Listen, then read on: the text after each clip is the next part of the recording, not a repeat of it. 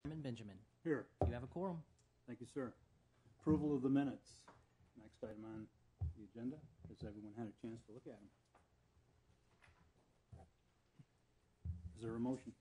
I'll make a motion to approve for voting. Do what? The check for Turner to be able to vote. Oh, he's gonna, Andrea's gonna take care of that. Okay, pardon? I'll make a motion to approve the minutes. Second. Second? Mr. Leonard? Mr. Alford, Yes. Ms. Pease, Yes. Mr. Turner, Yes. Mr. Viejo, Yes. Mrs. Cook, Yes. Chairman Benjamin. Yes, sir. They are approved. And while we're on the subject of old minutes being the, uh, or old business, would you bring us up to date, Mr. Leonard, on the La Borgata issue? Would you bring the council, or excuse me, the board up to date? Yes, the city council heard the rehearing, and they continued the hearing to allow staff to try one more time to get a response from the other two property owners um, on whether they, they care one way or the other about the request. Uh, we've made contact with one of the owners, the far east end, the other business professional piece, and he was actually in favor of it.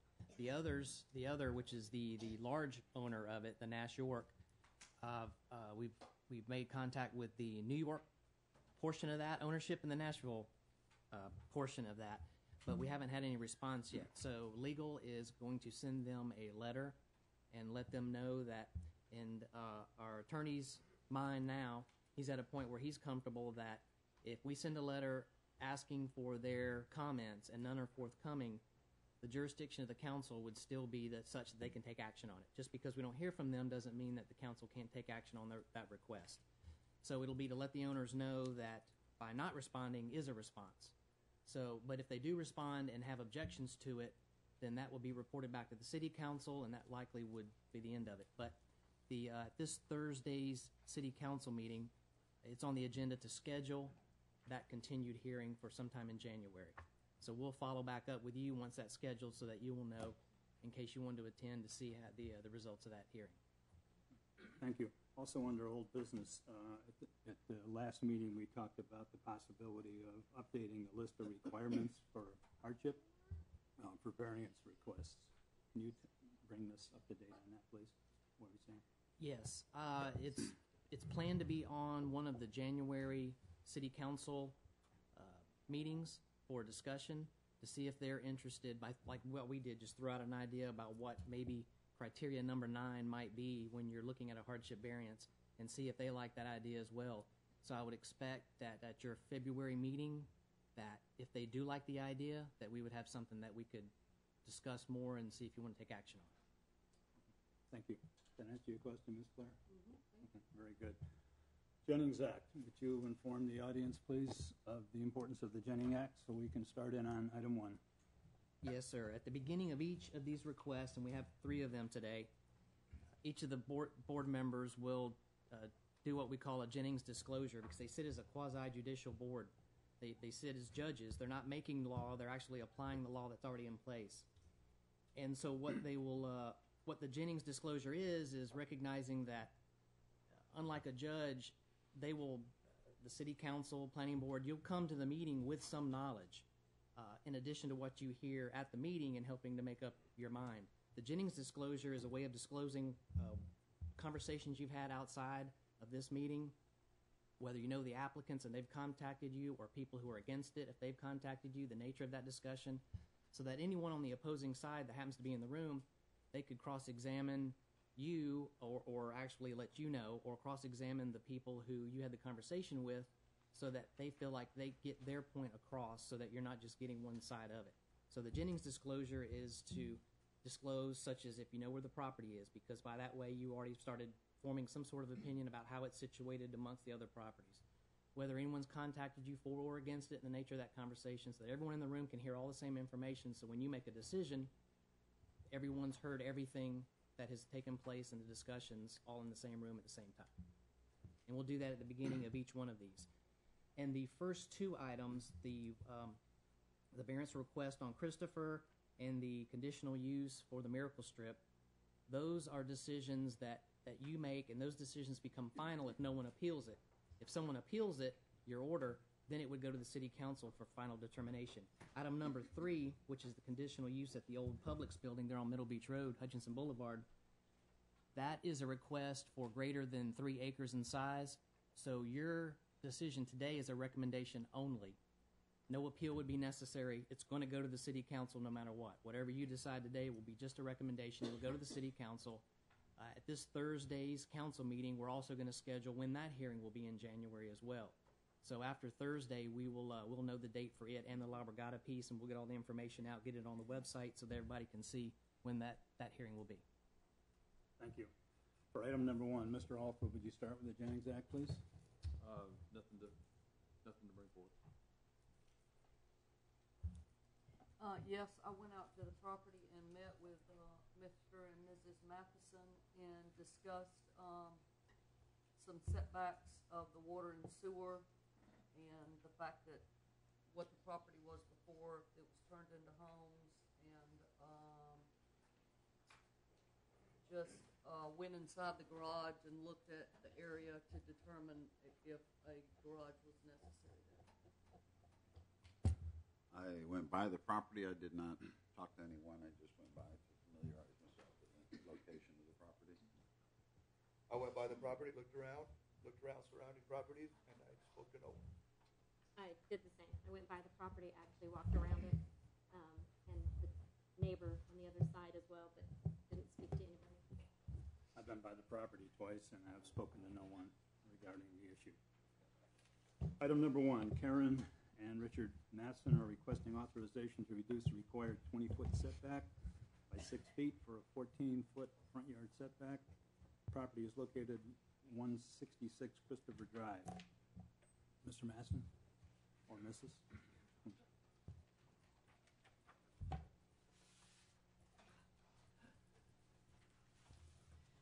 It's gonna make me speak. I think you all have a picture of the house. Name and address, please, for the. Oh, okay, I'm record. sorry. sorry. It's Richard Matson, uh, 166 Christopher Drive, Panama City Beach. It's my wife Karen back there. Um, we've lived in the Gulf Islands uh, establishment since 1968. We chose it simply because of its proximity to Frank Brown Park.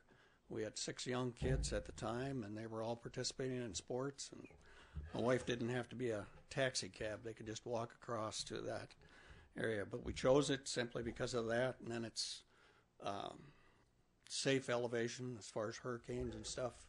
The uh, Kalina Circle at the top is 55 feet. Our area is 38 feet. Um, we're both retired for four years now, and we choose to stay here.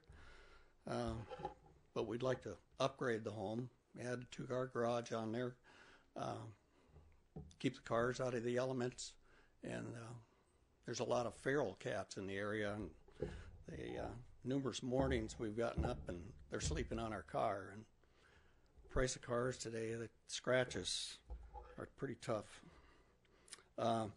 But we're with the present carport. I think you all have pictures. Uh, we'd actually be adding on 32 inches with that six foot variance from there, It'll be thirty-two inches closer to the street. from the carport that's there. Yes. Yeah. Um, the setback is 14 and a half feet from the street is where our setback is starts. And so that's where the 20 feet goes from there. But um, i don't know why there's so, such a big setback out there. So we don't have curb and gutter we don't have sidewalks. There's only two water lines that run in there and that 14 feet so it's a lot of weights of space. Um, there was a letter, but the uh, the wife called yesterday and was wondering if we were interested in buying that property. So I don't know why she was contesting it. It would add to the value of the property that's already there. But that's all I have. We had the one letter in opposition that, or, or at least a statement from, it, and I that's what he's referring to. Okay, just a moment on that. Does anyone have any questions? or any comments? A couple of things, when you said the setback was 14 and a half feet, you're talking about 14 and a half foot, um, is where the water and sewer tap is located, 14 and a half feet from the road. To our property line, yeah, the edge of the tar. So, for those of you that don't know, he's saying that, um, the water and sewer, the city, Panama City Beach, comes forward about 14 and a half feet up into the yard, and then the 20-foot setback starts there. Correct. So, all in all, it's, 34. yeah, feet to the. To 20 feet, yes. But the property right to the east of us, their house faces Chris, or Escanaba Drive. And as I understood it from Ken Thorndike, if they build a garage there, they only need a, it's either a five or a seven foot setback on theirs. So that is going to sit way out in front of our house. And then one of the other neighbors has a carport right up the street from us that is probably maybe four or five feet from the setback line. So, I was gonna, now it was a, that whole subdivision was a trailer park prior to it being set up for homes, so that's what, I couldn't understand why every house had double lots. but Yeah. That's, that's what that was about. mhm. Um, and I was going to bring up the fact that one of the houses was very, that the carport was very close to the road already. And when I went in your house, now your washer and dryer and air conditioning unit, um, and hot water heater is all inside that garage. correct, yeah. I'm not sure ever how it was a two-car to begin with. Well, I Well, don't- compact cars, I think. compact car. They were probably all smart cars, one parked behind the other. I'm not sure. But the inside width of the garage is, it's about 15 feet from the washer to that back door. But like I said, if you got the pictures of the house, we're only adding 32 inches onto the present carport. So when I was at your house, basically you want, your, your structure would be where the carport is, Correct, and you're gonna tie it onto your roof, correct. and then it's gonna come out towards the street thirty-two, Additional inches. thirty-two additional inches. Uh-huh. And from your setback to the street right now, there's thirty-four feet. 31 feet. From, no, no, from the carport to the street, to the edge of the tar street, it's 31 feet right now. For some reason, their water meters are way up. Yeah, I in- saw that. Into the lot. I saw that, but so, I was adding So fourteen and twenty somewhere. That was to the house. But he's saying To the from the house, okay. carport, it's only thirty-one. Mm-hmm. To, to the Present paved portion carport of is it. 20 feet. But his, his set, his setback from the carport to the front property line is about fourteen feet Correct. To his property line, Not, not to the street. not to the To the paved portion property. of the street. That's even more, right? But from the property marker post to the street, it's an additional 14 and a half feet. So it's a large setback. I don't know why it's so far in. I really don't. Well, that's all I have. Okay. Thank you. Mel, on the corner lot there, um, and apparently Mr. Thorndike went out and talked to him about it. Can you explain why their setback, um, would be considerably less? Instead of Just facing the other way. I mean, just, I don't know if we have that, we can put up there. People can tell that.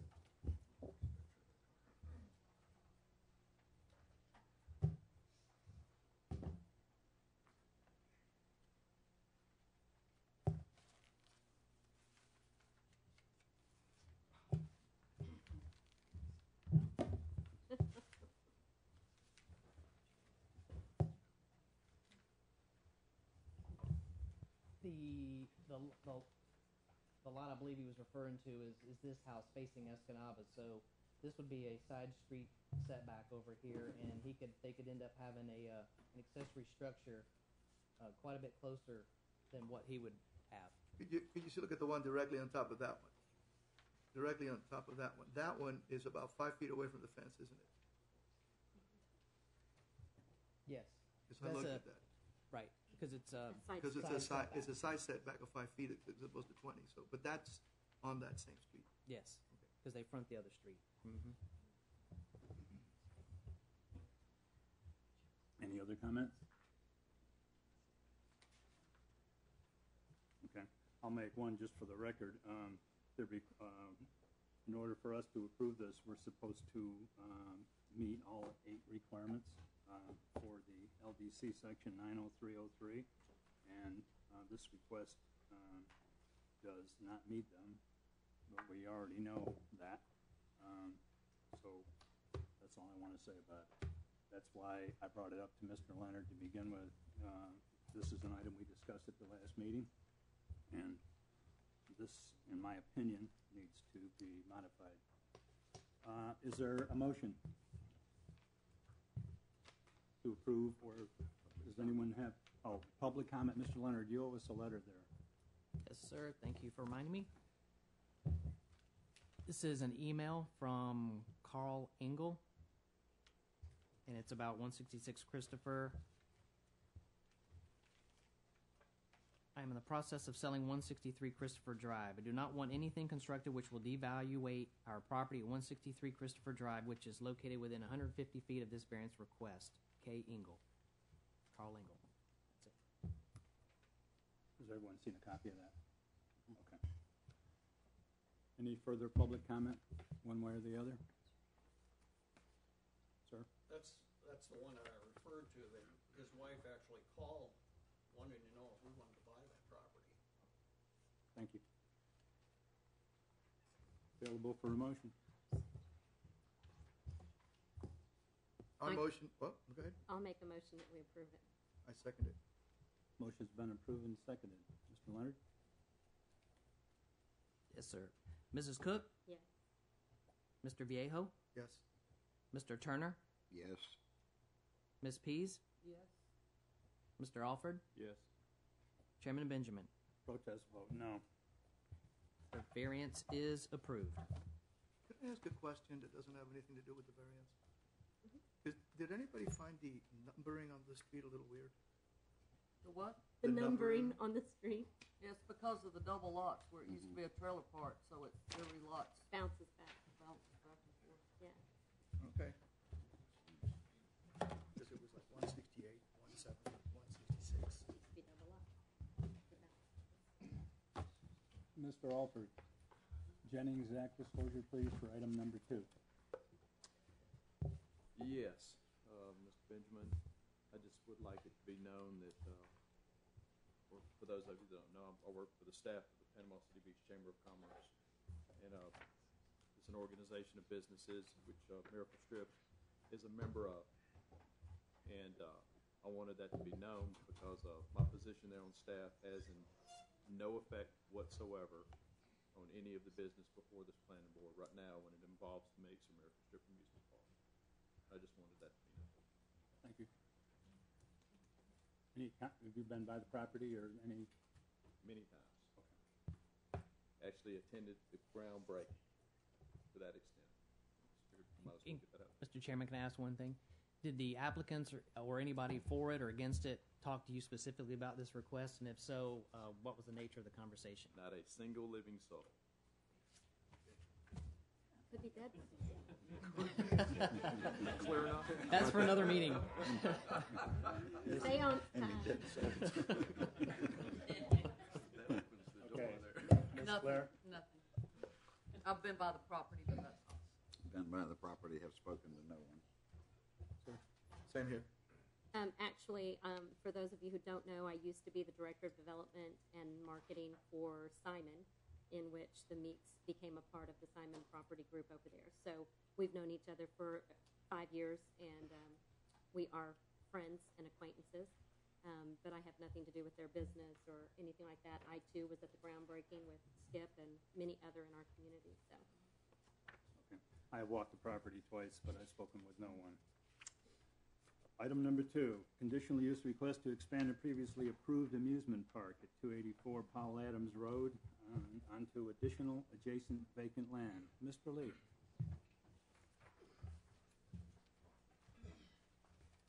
Hello.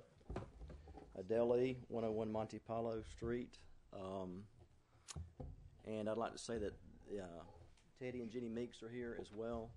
And if you have any questions for them or if they want to comment, uh, they're available for that. Um, I'd like to thank you for hearing this uh, conditional use request. And if you remember, we came before the board earlier this year uh, with a conditional use request and a uh, variance, fencing variance request for the 10 acre uh, parcel. Um? Yes.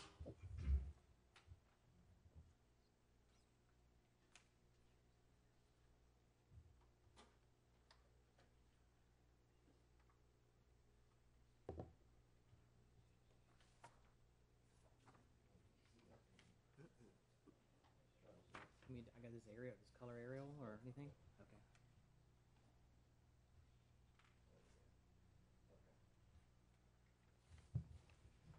Uh, this request is almost an extension of that original request. Um, as you'll notice, there's a parcel immediately to the left, to the west of the originally um, granted uh, 10 acres.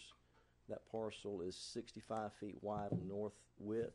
It's 101 feet wide on the southern width, and it's 1,100 feet long. The southern one third of that property of this parcel under discussion is approximately is is is wetlands and pond. Um, you also notice that, that this parcel is landlocked, and given uh, the shape of that property, there's really very little use that can be made of that property, except if it's um, joined with one of the properties on either side. Little use that can be made of that. Um, if the uh, conditional use is granted, there, the parking for this parcel has already been incorporated, incorporated into the design. There will have to be an update to the parking study to be done, but as we understand it, no additional parking will be required. If there is, it'll be very minimal. Um, and concerning the fencing variance, um, speaking with Mel, the we don't have to request a fencing variance because if this conditional use is granted, it'll become part of the same development, and the fencing variance will apply to both properties as if they're one. So their their common perimeter would become the what's required for the fencing variance. Um, one thing to make note of in consideration, if you remember originally when we came to you, the roller coaster, the Starliner roller coaster that used to be at the old Miracle Strip is coming back. And the original plan was to run that coaster in the entire length from north to south on the along the western property line. And that would it would take it from the north boundary to the southern boundary, which would get it pretty close to um, Front Beach Road. But with the addition of this property and a little other configure reconfigurations, the coaster could actually start and run start on the northern boundary and run west and turn south then and and the turnaround would be 400 feet further north than what we would have to do if we go back to the just the 10 acres in addition to that the fun part of the ride would be pointed pretty much west so you'd hear the screams would be, you know, focused a little more towards Pier Park than getting down towards the condos and and the uh, hotels and such as that. So, um, I think maybe you want to consider that. I think it's a I think it's a benefit to uh, to consider it that way. And that's all I had, unless you have any questions at this time. You're gonna be going over the wetlands to the south, that you said the bottom third? If if if this variance is granted, we won't we won't have to go uh, across the wetlands with the miracle with the uh, with the Starliner. It's a conditional use. He said variance, but it's a conditional I'm sorry, use. conditional use. Conditional use. I had one question, uh, under number nine of the staff analysis about the, um, exposed glare and noise associated with amusement park. Are y'all gonna be doing any additional, uh, landscaping or anything having to do with noise that, that blanking and screaming? Nothing nothing beyond um, what was originally planned for. And your traffic study has been done It has been done. and it The- is, The development order's been issued. the It is um, pending a couple of items, but it's effective. And then you have also got your pro rata share of your contribution to the uh, roadway That's correct. uh, improvement. That's correct. Already paid. Thank you. Quick question. Yes. Just because it's, it's shooting out to the west just a little bit farther, I know that the, the beach helicopter's down there. Mhm. That isn't gonna affect his flight paths or anything at all, is it? I, I can't comment on his flight paths, but I know it'll I know it'll be further away from his landing from his Further landing, away. further away. The, uh, we're talking about the roller coaster, right? Yes. Yes.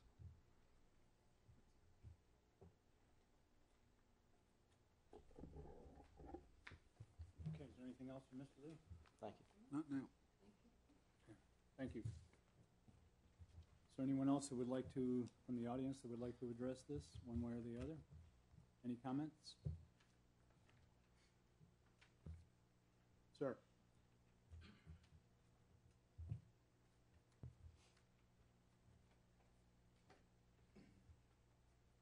I'm John Alagman, the CRA manager. Uh, I'm the one that reviewed the traffic study. Um, one thing uh, that mentioned, uh, yes, the, the traffic study has been approved for what has been proposed up to date.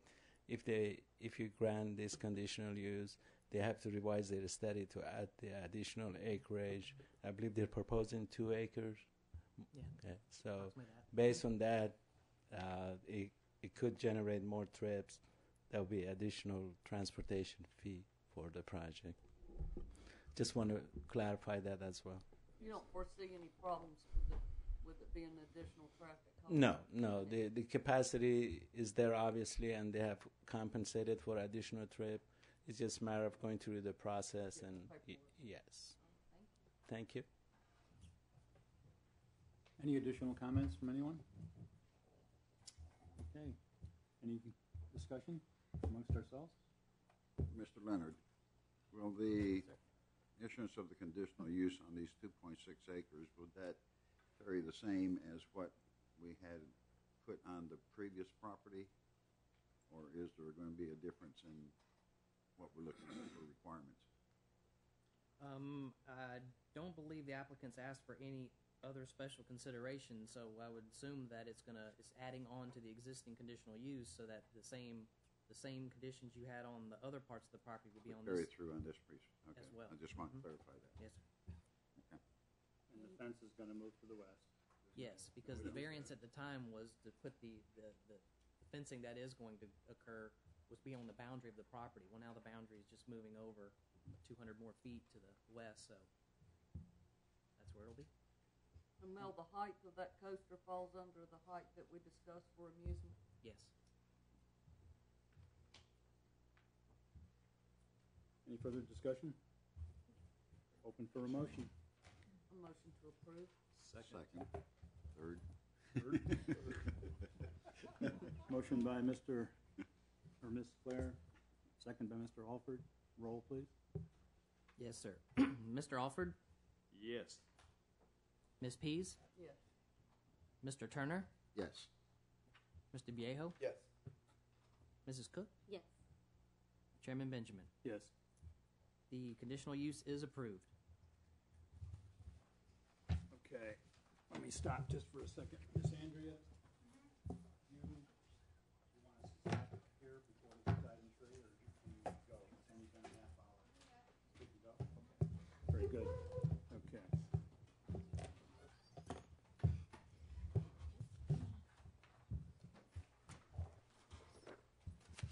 Mr. Alford, Jennings Act, please. Item number three, conditional use request for approval of a multi-use entertainment facility at eleven twenty, eleven two twenty Hutchison Beach Boulevard. I've been by the property numerous times, front and back, all around, but have not talked to anyone uh, with this company.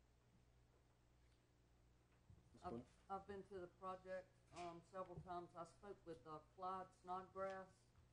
Um, he had some concerns.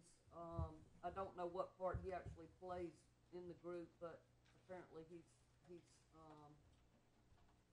involved in it in some way. I'm not certain what, what title it was, but, uh, he was concerned about, uh, the cost of the tap fees, um, traffic study and cost of roadway improvements, um, which I can bring up these things with, ask Mel some questions that he had concerns with, but other than that, I've spoken to, um, also someone with Edgewater Beach, Beach Resort, than that.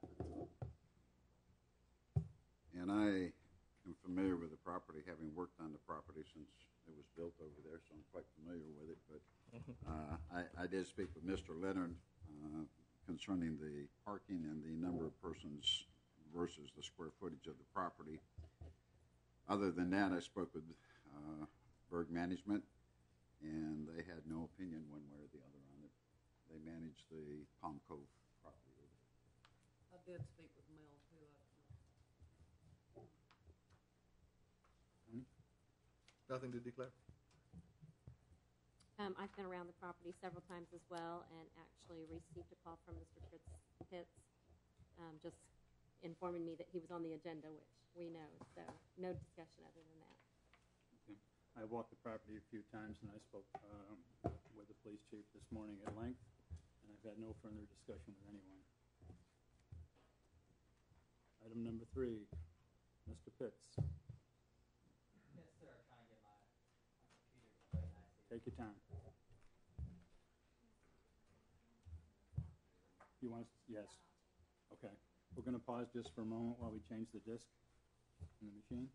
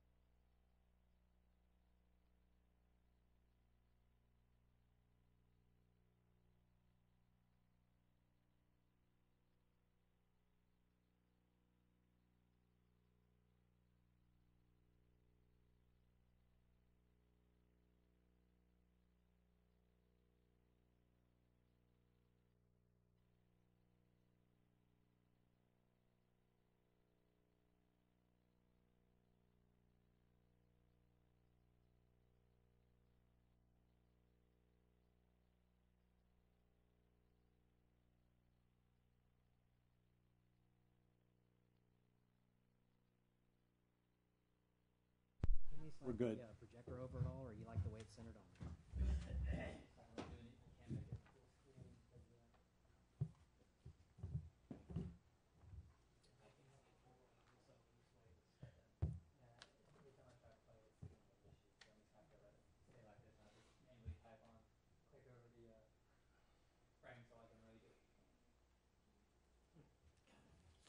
You ready? Chris Pitts, 5318 Beach Drive, Panama City Beach, Florida. Um, I am uh, the owner of Meridian Live. Um, what we are proposing, uh, first off, uh, Chairman, members of the board, thank you for uh, letting us come up here and, and explain some of these things and answer some questions that I know you probably have as well. Some members of the audience might have as well. Um, we did have last Tuesday an open house um, for people to come and ask some questions. Uh, we invited the, the letters we sent out for the um, conditional use process that people within 300 feet of the property got a letter with an invite to an open house. Uh, we have a pretty good uh, turnout on that. Um, and a lot of people that showed up um, all had very similar questions. I think we, after about an hour or so, got most of those questions. I think most everybody left feeling relieved and feeling that they have a better understanding of the project. Uh, but this, anytime something new comes in town, there's a lot of rumors, a lot of speculation about what it's going to be, what it could turn into, especially with some of the history, uh, specifically with this conditional use process that we've had. There's been some some applications have been granted, and they've ended up being a nuisance or an issue after the fact. And after speaking with city staff, I think there were there was some concerns that once we, if this was to be approved, and I did not, or we did not run the business the way that we said that we would or promised we would, there was really no mechanism in place to make sure that we could we would, I guess, stand by our word.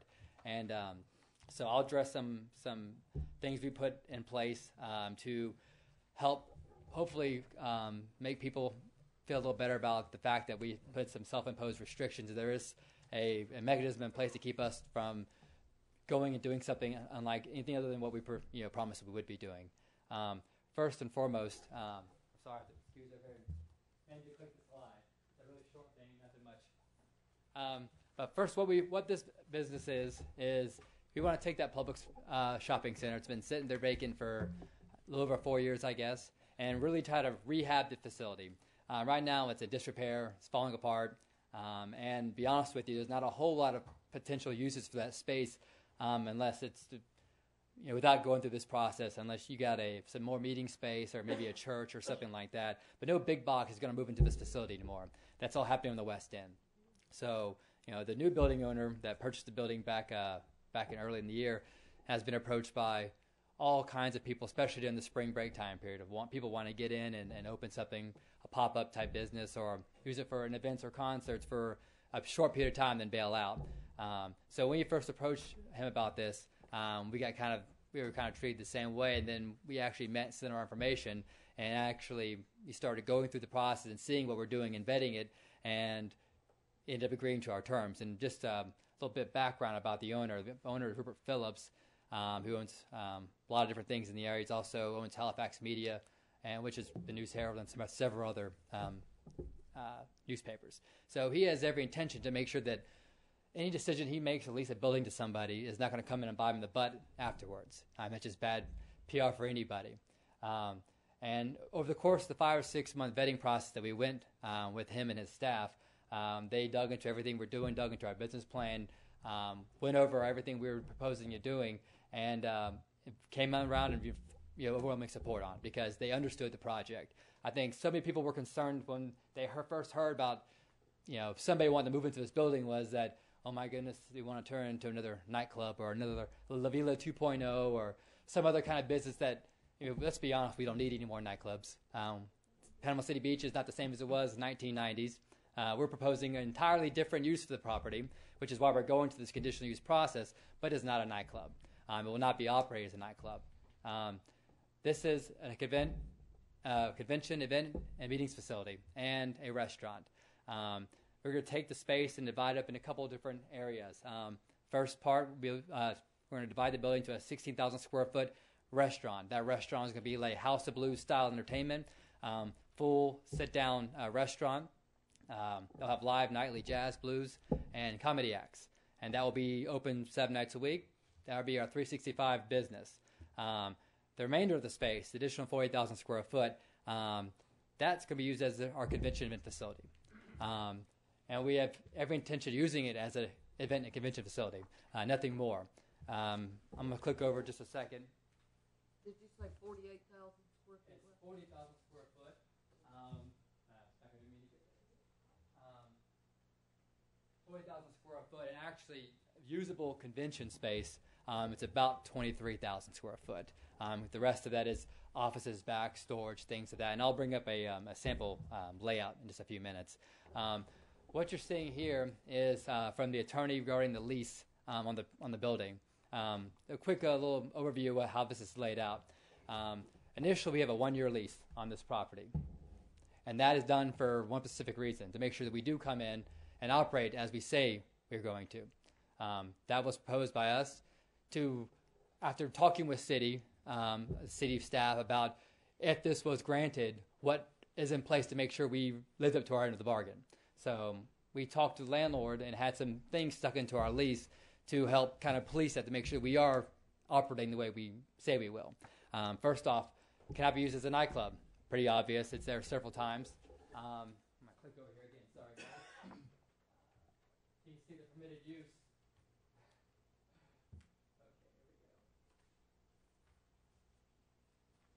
First class venue for concerts, conventions, sporting events, entertainment, including without limitation, sit down, full service restaurant. You can see the rest of it there.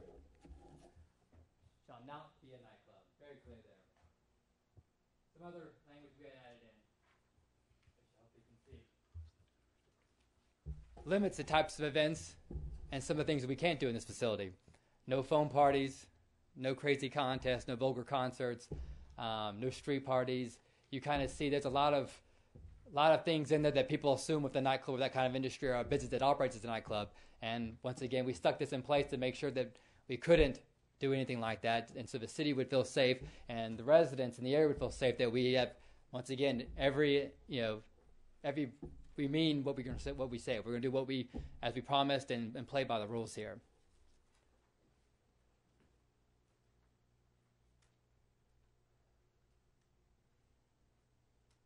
We've also, we've also, um, also included some um, self-imposed restrictions that we added to the lease that we asked to be added to the lease. Uh, you see some of them there regarding noise. Um, the nightclub's in there again as well, and also limits the number of events during the month of March, which is what after city staff has brought to our attention is one is, is one of the biggest concerns is the amount of events. If we were to come in, open up for a month, and do a bunch of stuff that would essentially bring spring break to a traditionally non-spring break corridor. We have no intention of doing that. Um, but we do plan on, if we do move forward this process, as operating as an event and convention facility, which would mean doing one concert a, uh, a week during the month of March, because it's spring break. It's a lot of good, um, a lot of good money to be made there. I mean, I don't, I don't think there's one business on this beach that can survive shutting down the entire month of March. All we want is to be able to come in and work with the city on either days or times um, to be able to put those one shows a week. Um, to where it helps, we're not running into issues with some other events that might be going on in the area or some of the stuff that's going on in the South Thomas Drive area. Um, just as I said, um, do, do what we can to work with the city. Um, you can see the city staff uh, notes that they put that we've been very open and, and, and amenable to any suggestions they had, just because you know we're we're trying to to prove the fact that we are traditionally we're actually opening a meeting convention facility and a restaurant. Um, our initial proposal um, was to uh, open the main hall first in time for spring break and do some shows, and then after that to bring on the restaurant online sometime around summer. Um, after meeting with people and, and city staff, um, we decided to even help kind of clarify any any lingering doubt that we would be operating as a pop-up club to scrub that idea and operate and open the restaurant first, move into the building first, and then open up the main hall in time for summer. Um, we did that just because th- we would think that would help clarify once again any ideas that this might be some kind of pop-up club or temporary business. And I've heard all kind of things, concerns that we were going to come in and gut the building and throw a bunch of concerts and walk away, or that there's a bunch of out-of-town money coming in to to bankroll this. Is they're all local people. It's a family business. It's the local investors that we have here. Um, there's no major company. There's no major corporations. I'm here speaking uh, on behalf of myself. Um, and uh, uh, you know, this is you know, all local, as everybody involved here. And uh, as like I said, it's it's it's very tough for people like us to do because we're not, you know, we're not a major corporation. Everything done is self-performed ourselves. And uh, you know, over the last three or four years when we first started this process, um, that was every intention. We looked at several different businesses, several different lo- locations, looked at some stuff at Pier Park and was trying to see about maybe building something. Um, looked at the old um, Wayne's World, old Walmart location over there by the overpass, and um, kept going back to this location, the Publix location, because I mean, it looks like a convention center. It's in a great location, and to be a convention center, excuse me, uh, you have to be next to resorts and condos, and being that that's how we plan on operating our business. The convention facility being next to those helps. The other facility over and on uh, by the bridge had nothing there. There was some proposed um, development that was talked about at one point about building a hotel and some things behind there, and that was why we considered that location. But once that all fell through, we went back to the Publix shopping center. Um, now, there's a couple issues that, that we that we're that we are most definitely aware of, and that city staff has has you know made comments on. Uh, first and foremost, being traffic and parking. Um, what we plan on doing um, for the, the initial first year of, of operation is uh, to utilize the 300 spots that we have now currently, and then for any special event or major event that we have um, that would require off- additional parking, uh, we've had conversations with um, Shipwreck and with Edgewater. Uh, no agreements yet, but had had some conversations regarding it about utilizing one of those two locations for off-site overflow parking. Uh, we'd run a shuttle um, to the from the business back to our parking lot and and, and so on. Um, once again, we have no we have no uh, agreements signed on that, but we did have conversations. I feel pretty confident one of those two will come come through for us. Um, as a permanent parking solution, though, um, sometime during the first term of business, once we get some cash flow coming back in, uh, we have uh, approached the owners of the, of the property right next door.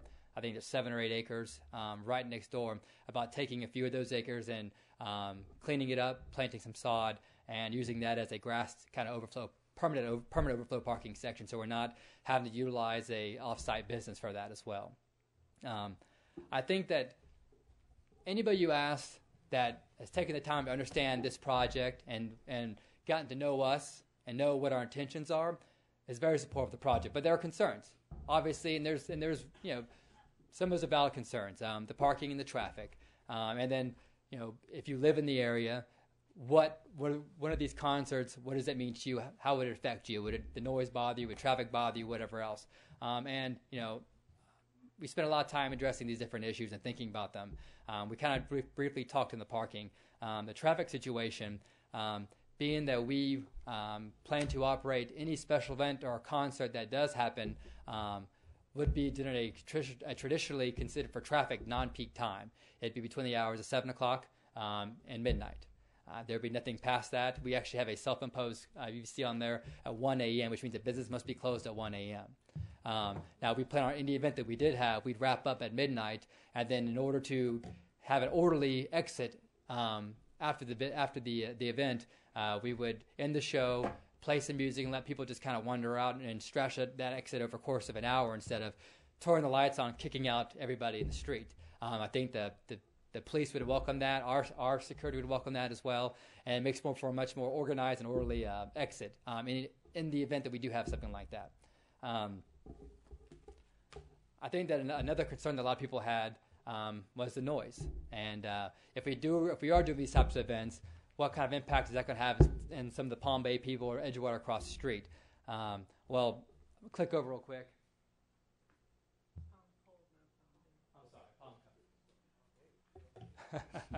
Sorry about that. So you kind of see this is a simple layout of the building. Um, as you see here, the section with the tables is left hand side. That is the restaurant and uh, lounge area. That's, that has a fixed stage because we will be doing live entertainment, jazz, blues, and comedy acts nightly. Um, the kitchen in the back. The, the remainder space over to the side is our main event hall.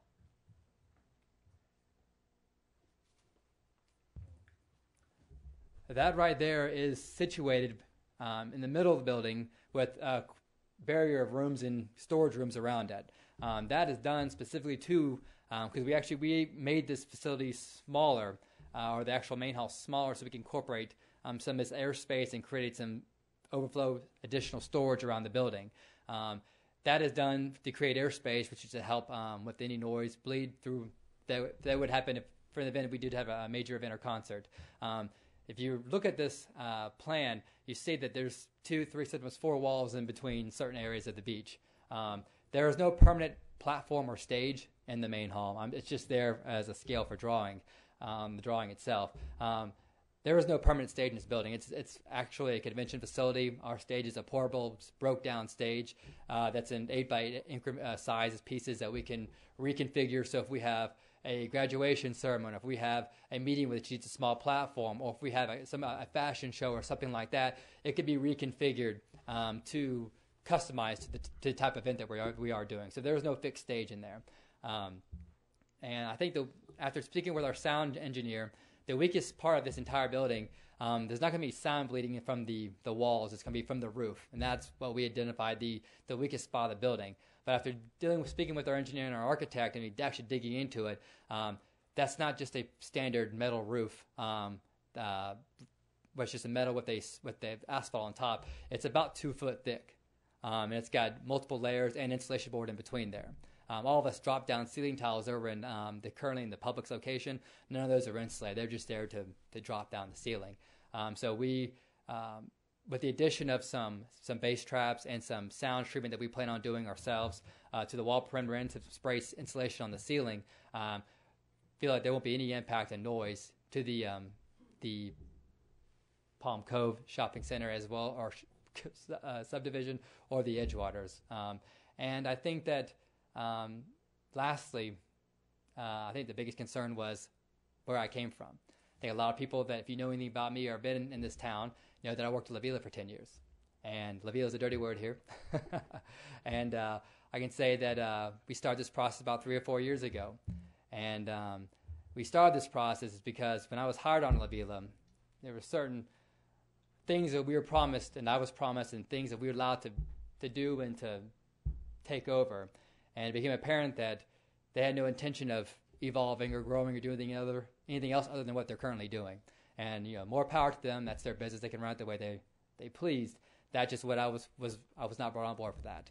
Um, we had better ideas and things we wanted to kind of move on, expand on, and we didn't see eye to eye on that. So um, once again, we said three or four years ago we started this process, and just here in the last several months, um, we were able to get the rest of the funding that we needed, and we did leave La Vela to pursue this.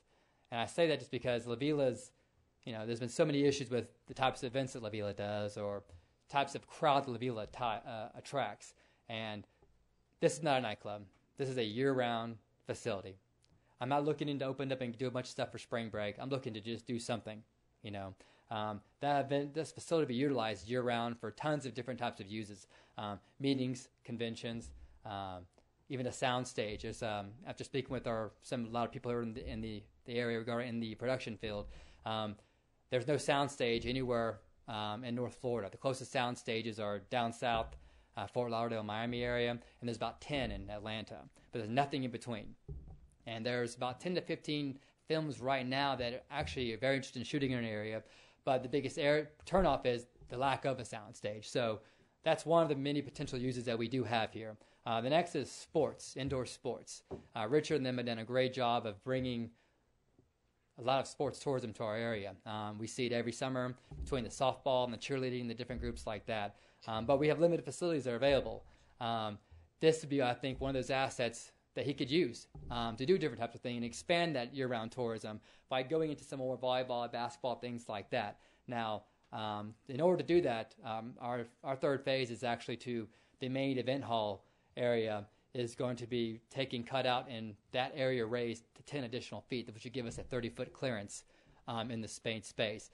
That at the same time will, will eliminate these center pilings in the middle, which would give us a wide open space for three, three different basketball courts or, or four volleyball courts or, you know, big cheerleading competitions, karate, boxing, MMA, whatever. Um, it really makes the venue a little more flexible for the indoor sports. As it, as it sits right now currently, we'll have about 20 foot ceiling, which will allow it to do some things, but it won't really open up to the sports stuff until we actually raise the roof. And we've uh, already met with the company that's came down to look at that, quote us on that, and it's actually very reasonable. It's much cheaper than building a new building somewhere else. Um, as far as um, the type of business that we plan on running. Um, when we first started this process, you know, one thing we talked about with our investors and ourselves is that we didn't want to open up just another hospitality venue that um, would hire a bunch of part-time employees, pay a minimum wage, and then lay them off at the end of the year. Um, a promise we made to our investors and ourselves that any, anybody that we hire is going to pay above minimum minimum wage. Um, and after six months period, will be offered health benefits, regardless of if they're full time or part time. And the reason we're doing that is because we want to attract the best. We want to get a great staff. And if you anybody in the hospitality industry will tell you that it's all about hospitality. It's all about you know treating the customer right, and and it, the only way to do that is to keep good staff. And uh, so that's one of the ways we plan on on doing that is to you know keep that. Uh, that staff by paying them a, a, a nice way, a wage above a living wage, paying them more so we can attract the best and the brightest. Um, as far as that, um, I'm sure you guys have lots of questions. And I'm sure there's lots of people in the audience that have lots of comments on this or questions for me. So uh, if you do have any questions on what I've gone over so far. Uh, I have some. Yes, ma'am. and they're going to kind of bounce back with back and forth to Mel. But I, I'm just trying to get a good understanding. Um, first, let me talk about Mr. Snodgrass that called uh, Mel. He he was. Can you talk a little bit about the traffic study and why every development has to have it and the um, the uh, the cost of such a traffic study, if you know that, and then uh, the roadway improvements. He was unsure why they needed to pay for road improvements when the building already existed. Um, so if you can?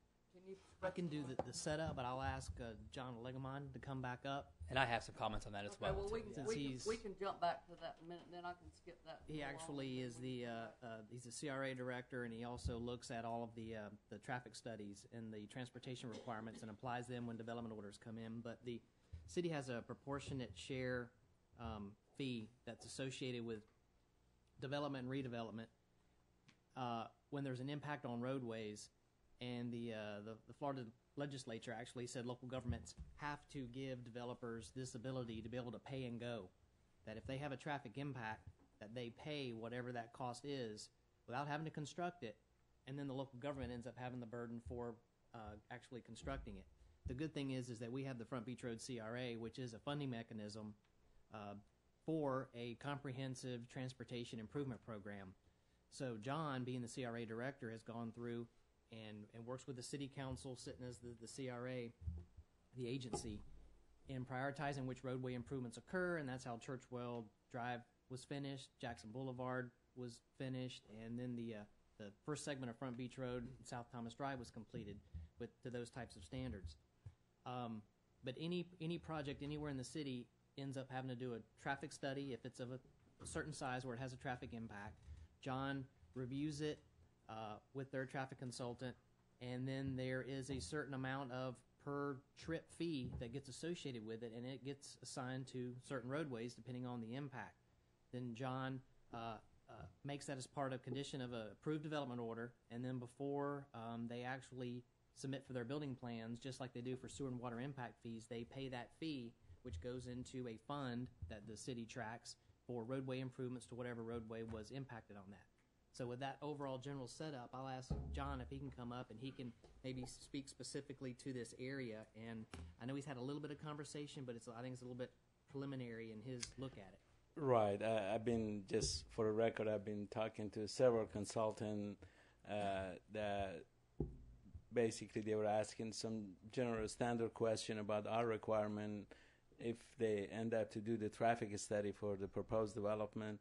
Um, as a general, as Mel said, normally based on the type of land use, we develop uh, the uh, the number of trip within a peak hour day, uh, and then based on that, we distribute the the, uh, number of trip that will be added as a result of the development to the transportation network, and wherever those uh, trip will be assigned, and if they're failed if they're assigned to a fair roadway, for instance, in this case will be Back Beach Road, Front Beach Road, North Thomas, uh, those will be subject to the proportional fair share.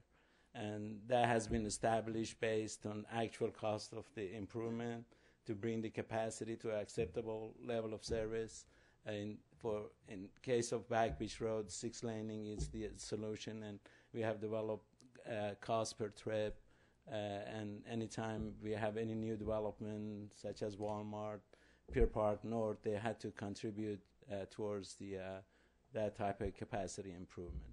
Uh, in case of uh, proposed development, really this is not a standard land use. Uh, you know, when you have uh, you know amusement park like we had earlier, uh, or medical center, or any type of development. If you go to our uh, standard manual that we use normally to develop the trips, uh, there's a code and then uh, an estimated uh, trip that will be or rate of trip that will be generated by those type of development. Based on that, we would develop the number of trip. In this case, uh, I've heard up to 3,000 uh, people will gather at one time, three to four times a week.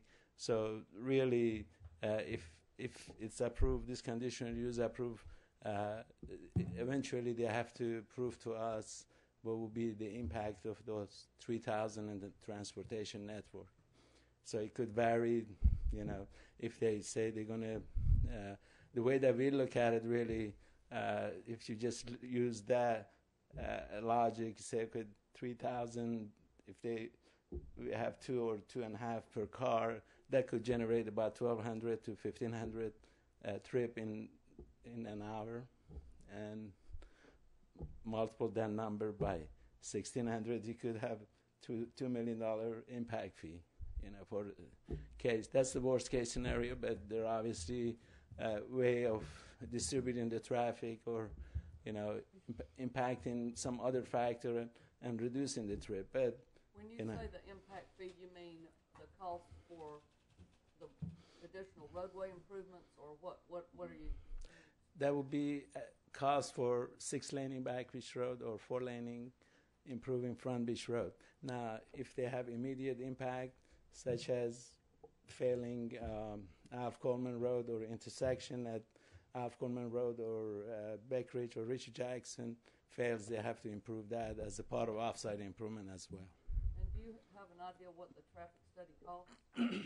Oh, the cost of traffic study uh, depend on, uh, of course, consultant, but uh, at the same time, you know, uh, it could vary from ten thousand to fifty thousand dollars, depend.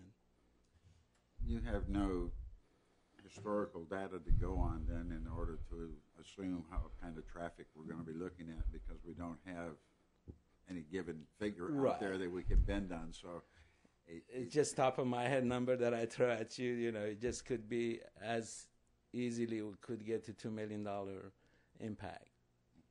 do you, do you look at the high side, low side, or High someplace side. in between? You kind of have to look at the high side, I would imagine, Absolutely, based on the what, worst case scenario. You know, what they're what they're giving you at this point for their traffic pattern. yes. But they would get credit for what the grocery store, No, ma'am, uh, not get that no credit? credit because normally uh, you give credit to a establishment or business if it's in business and they're remodeling, and they, they haven't been out of the business for a year or so because this has been vacant for the last four years. Really, what we're going to be looking at what's out there right now. But what was the traffic impact when Publix was there and Stripe, you know, alive That and well? that that was then. You know, we we I mean, it should the. give you a jumping point to know. There, there was some credit at that time, that's true, but right now we look at the existing traffic. Is your uh, question what, what they would have to pay for their prop share? No. Okay. My question was, you have a traffic study from when Publix was there. it was about two thousand trips. uh, Okay. Per Somewhere day, in there. uh, so it's about two hundred, uh, during the peak hour, about two hundred at the max. So the parking lot would take about a hundred cars. Right. But Yeah, at the time that Publix was uh, developed, I, I remember I was, as a matter of fact, the one that reviewed the traffic study on county side. Um, you know, we we looked at the study at that time and the available trip on Back Beach Road or Front Beach or Middle Beach in general, and there was no traffic impact whatsoever.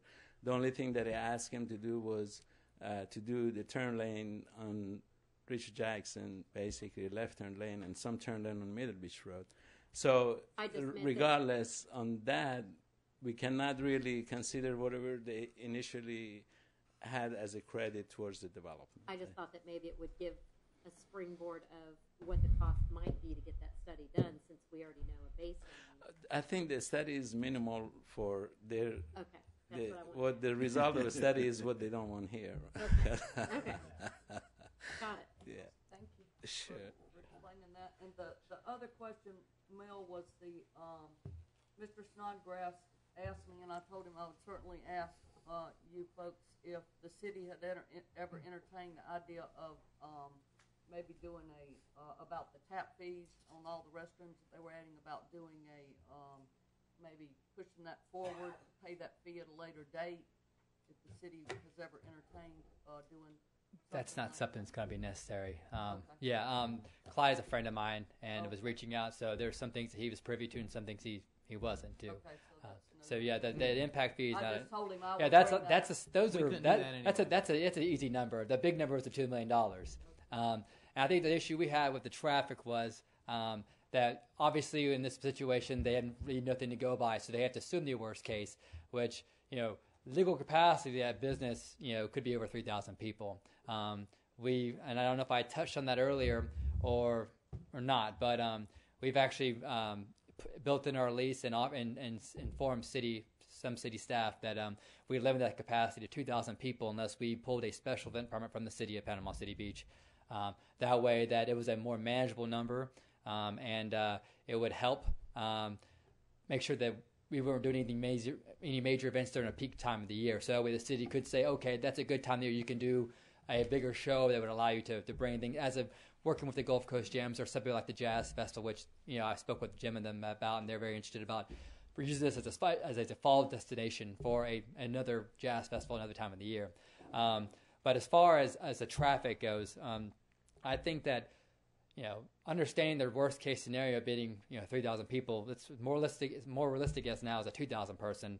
And the fact that we're limiting to once a week during a non-peak time, I think has to mean something. And I say non-peak time, obviously during the summertime, as spoken with um, the chief of police, um, the non-peak time for a traffic study and non-peak time for Panama City Beach is a little different. Um, peak time for Panama City Beach is going to be in that, that late evening area where you have people cruising the strip or, or going to dinner. So it might be peak time for Panama City Beach, but it's not, from what I, from what I understand, peak time for a traffic study, peak time. So the, the amount of peak peak time trips we generate is actually very minimal because it's during that later part of the evening.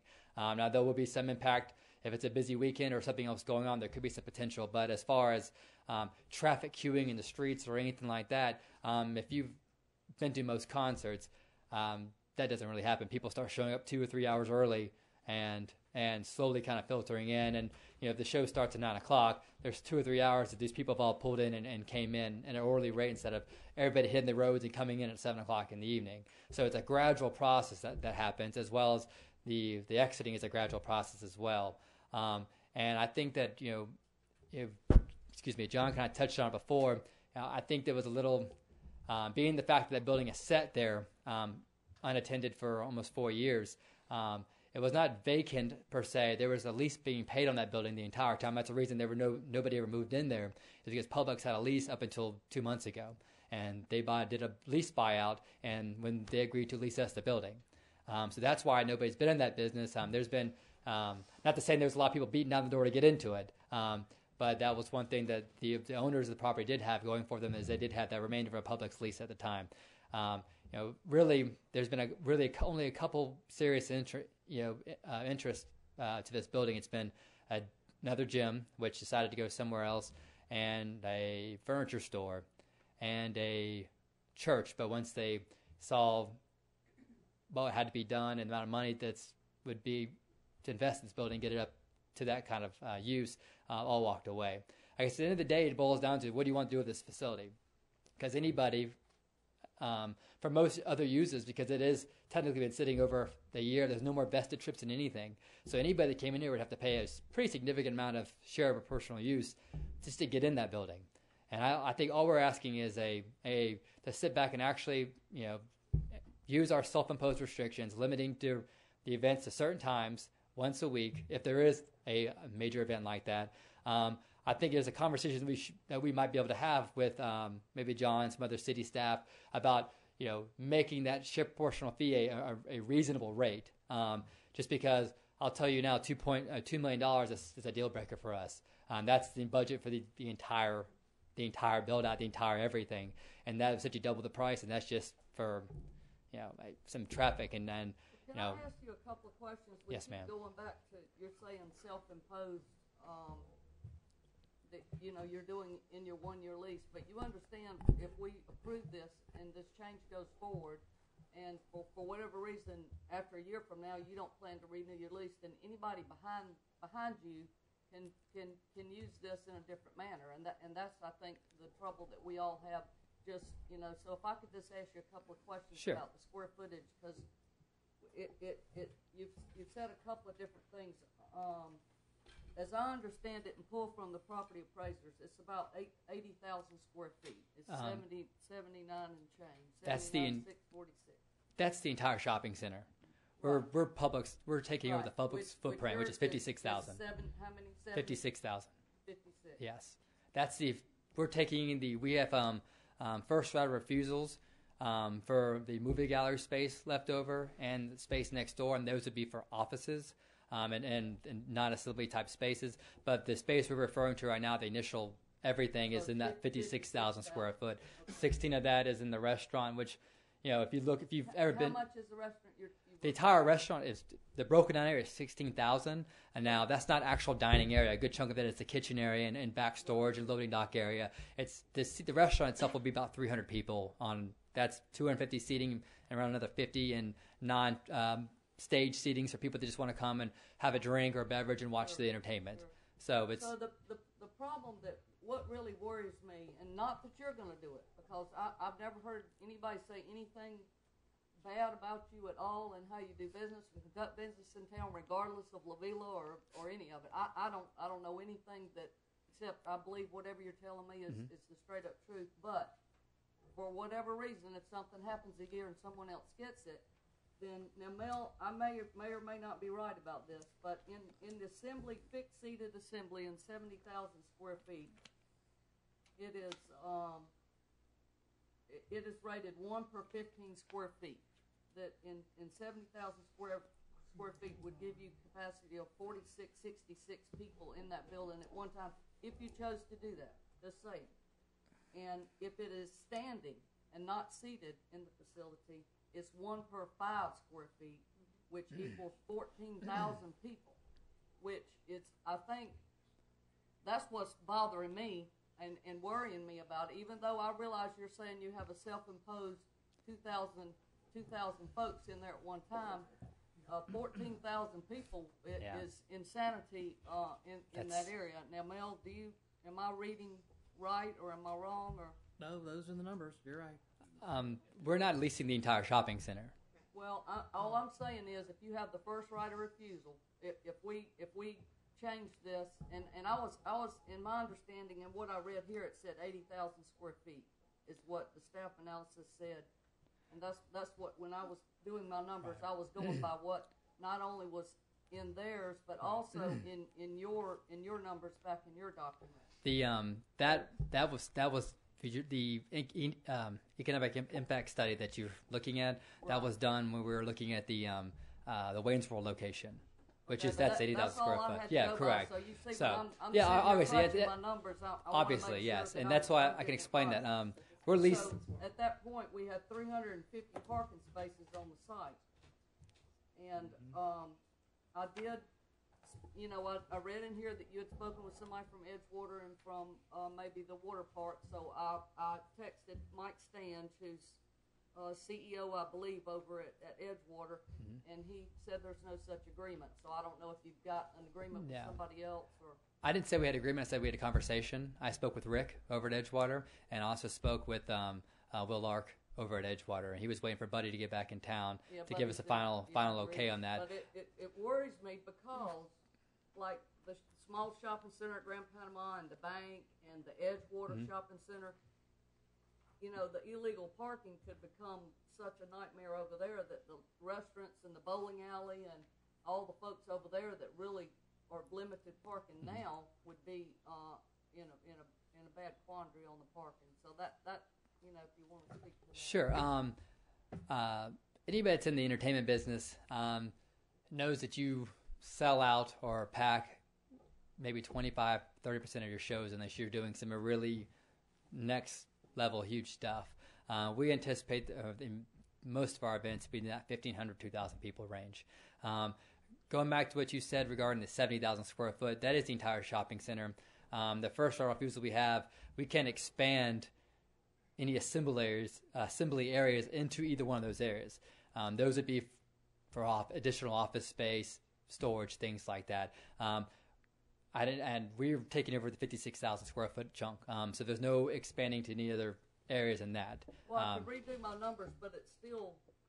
a- it gives you actually about 23,000 square foot of usable main event hall. But what could they, at that point, lease that area to someone besides you? And then that person, I'm just saying. Correct, yeah, I mean, I'm um, just wanting. I- No, you most know, of I, I kind And of that, and that person puts in a restaurant or whatever that, you know, then where, where are they gonna park and?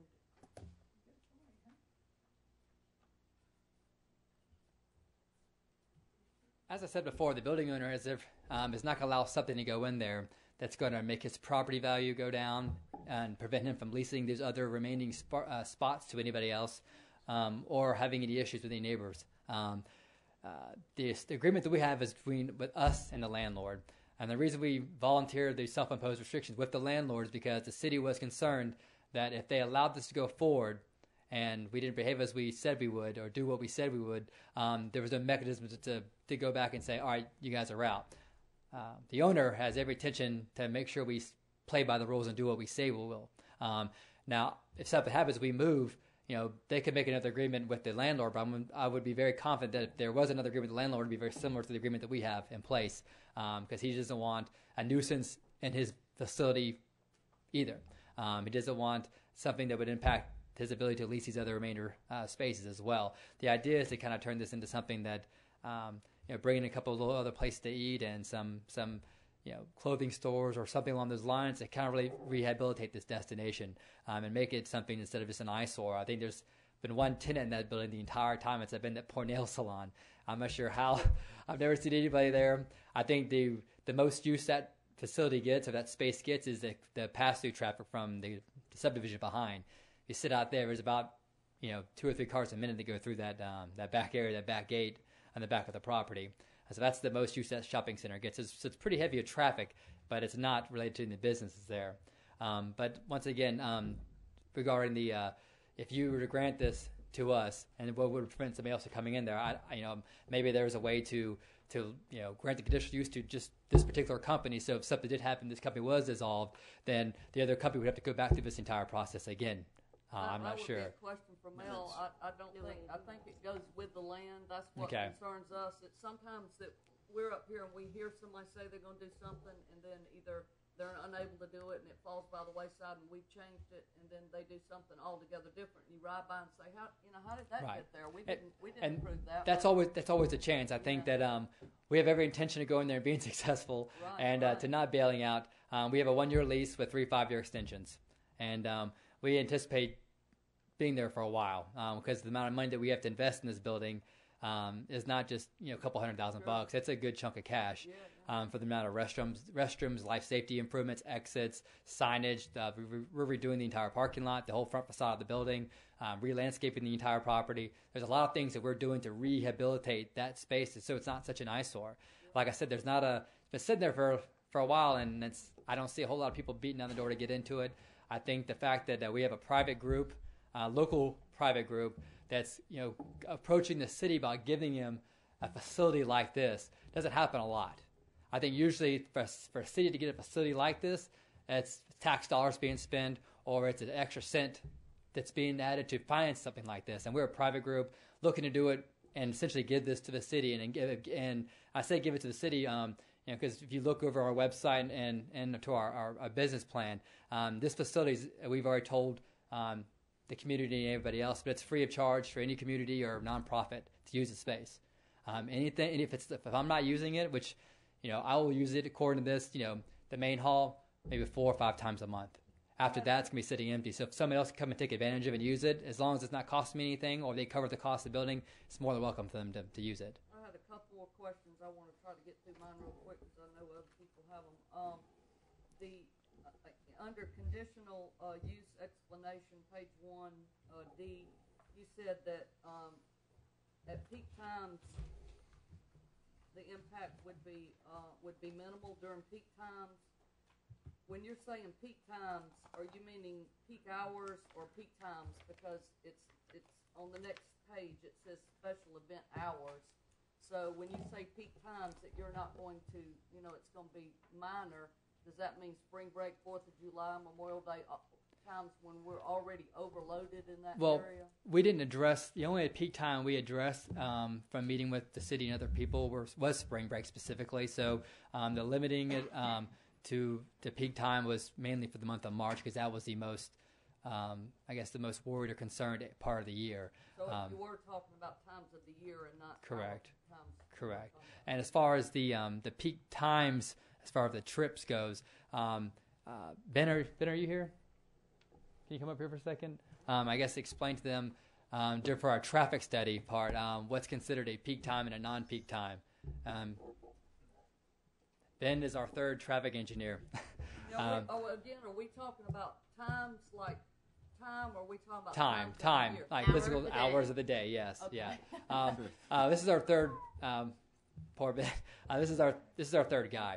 Um, the first guy came um, and gave his recommendation. I guess they had a couple of conversations with John, and uh, there were some issues there. And the level of study they're requiring um, at the point when they spoke with John was a level three traffic study, uh, which is the same study that Pier Park and Walmart had to do, which we thought maybe that you know after speaking with some other people that maybe a level one would be sufficient. Um, we were most definitely uh, have no problem with the traffic study, but I think a level three at a five mile radius might be a little much for um, for the type and as far as the amount of days and times this facility would be used. Uh, but uh, Ben, if you could give us some ideas on the actual what's considered peak time for trip generation. Right. Um, based on based on character of use, I We have your name and I'm sorry. My name is Ben Faust at 100 uh, Richard Jackson Boulevard. Um, typically, when you do a study, a traffic impact analysis is based on uh, the character of use of the property. Uh, find a character of use that's similar to what you're looking for in the um, in the manual, the ITE manual, and uh, and it will describe for you when to expect those peak hours to be for those use. Um, and then you try to distribute those load th- those peak hour uh, impacts across the network of traffic, and the network of traffic has its own peak hours uh, based on that. Um, but there's some uh, flexibility in that analysis, and there's also some inflexibility associated with the character of the uh, the study that was done to prepare the actual trip costs by a municipality uh, or a community. So uh, there has to be some matching of the way that you do your analysis for peak hour based on the character of the uh, analysis they use to develop their costs. Are you basing it off the maximum capacity that could go in that building when you do it? Um, it's typically done based on an, an idea of average use for the, for it, but it's based on the idea of that average use at the typical peak time.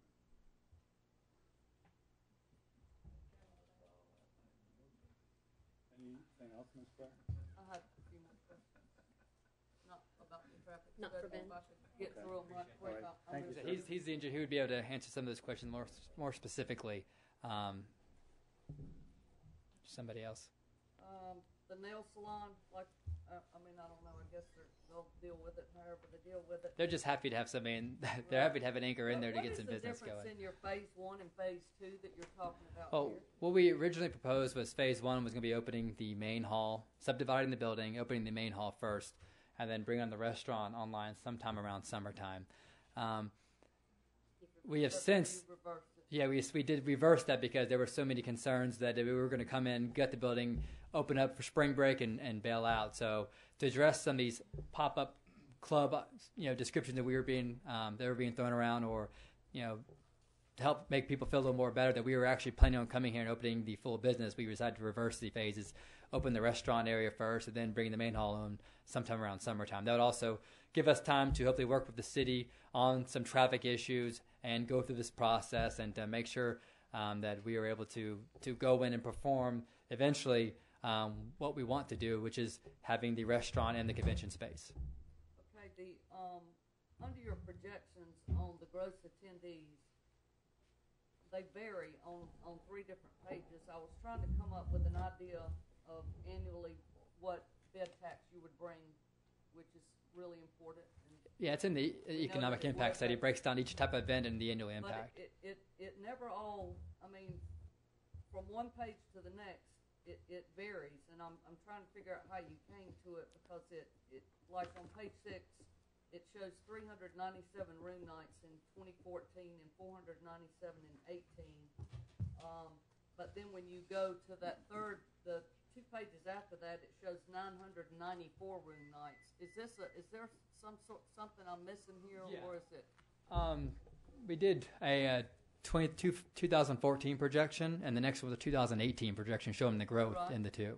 Um, But when you look at, when you look two pages after that, it shows a completely different number, the nine hundred ninety-four, uh, room night number. I just don't know if these are, if these are old projections or if they need to be tweaked or what, because they, they don't add up. the the uh, formula that was used was uh, used by the state of Florida to generate these types of things. It takes into account um, uh, many different factors, and I actually um, uh, I can I can provide those the actual detailed formula that was used. Um, I don't have them on me right now. I can't pull them up on the screen, um, but it, this is the economic impact that we used um, on that on that study was to show new additional um, economic impact, not just um, money that would be taken from say an existing business, saying you know money that's already coming to town. This is additional business that would be coming in, as a result of a convention space or another concert venue or something along those lines. And then I just had one more question on your, um, your amount of, um, income for concerts. If we base that using the twenty eighteen numbers, your numbers of twenty-four hundred people per concert at twenty-three concerts at fifty-three thousand two hundred, uh, would be three hundred and eighty-six thousand four hundred tickets. Uh, that would equal like seven dollars per ticket.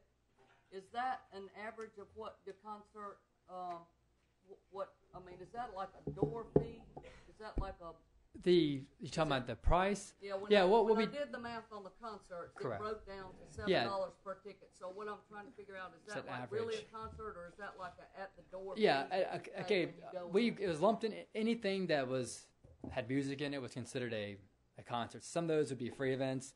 Some of those would be twenty five dollar events. Some would be ten dollar events. So there's no there's it's no way to it's kind of like an average. Uh, we you know we said we'd be doing anywhere from twenty one to twenty three events uh, concerts per year, and depending on the type of um, uh, that once again study was done for the larger um, Waynesboro location.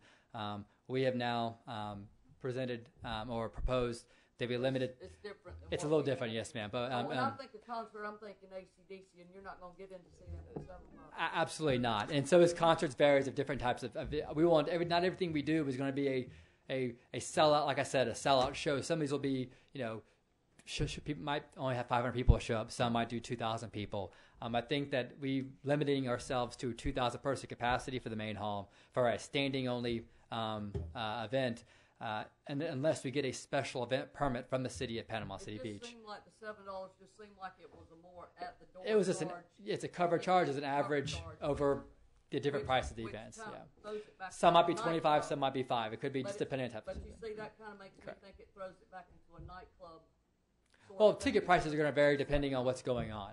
Not every ticket uh, concert ticket is going to be the same price. Some might be a five dollar concert. If it's a event that's more of a community type event or a fundraiser, it might be only a five dollar cover. If it's a a major concert that we have you know seventy five thousand dollars, then it'll be a twenty five or thirty dollar cover. So that's the variation between the two.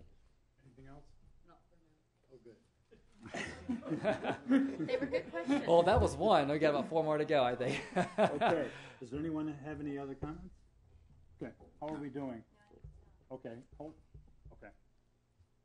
All right. Does anyone have any comments for Mr. Pitts right now? Not right now. Okay, not right now. Thank you, Thank you. thank you. Now we need to stop. Well, I think we're, yeah, okay. Uh, as a, as a lead-in to, um, public discussion, um, and while she's setting it up, and then we're gonna take like five minutes. These are New York five minutes, not Panama City Beach five minutes. We're Hey, gonna now. return. But in just a minute, uh, I'm gonna ask the police chief to come up.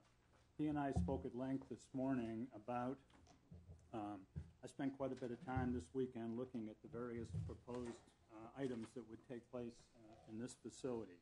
and um, conventions, trade shows, consumer shows, banquets, meetings and conferences, assemblies, religious events, sports. I don't have much of a problem with any of those. I don't know how many other people do, but we're we're talking about very limited numbers of people that would attend these. Expressing an opinion also. These are all economic losers. There's no way you're going to make money on stuff like this. The money, of course, is all in the concerts and the entertainment, and I'm not sure what entertainment actually means, so I'll just use the word concerts. Um, And I tried all weekend to try to figure out how this could be approved and how the concert portion of this thing could be controlled. And the only thing I could come up with is special, the special events permit, which right now, I believe Mr. Leonard is 500 people or over per Over what's customary. over what's customary in a given hour. Is that correct? Yes. Okay, anything above and beyond 500 people in a given hour, above and beyond Customary normal, to that site. right, requires the special events permit. So I spent all weekend trying to figure out how the concert aspects of this thing can could be controlled, and uh, naturally I had a great idea until I met with the police chief. and He told me to go away. Uh, so, but he Way was to go. pol- Way to he go, was Chief. polite about it. So what what I'm going to ask him to do? Are we ready? Okay.